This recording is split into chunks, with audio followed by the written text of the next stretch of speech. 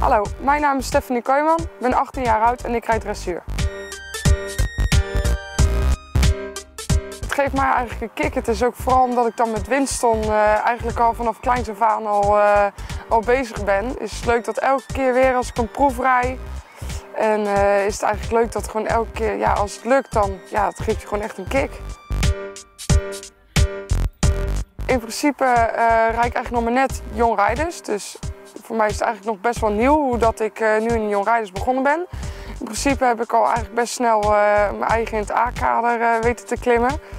Um, mijn doel is toch het EK dit jaar. Proberen. Mijn best doen.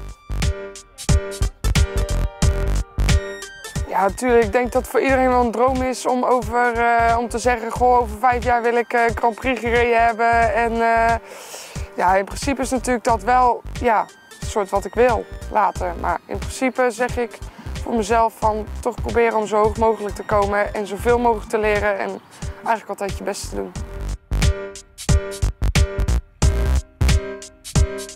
Ik moet Rabo Talent van 2012 worden, omdat ik vind dat ik eigenlijk elke dag heel erg hard mijn best doe. Ik train keihard voor.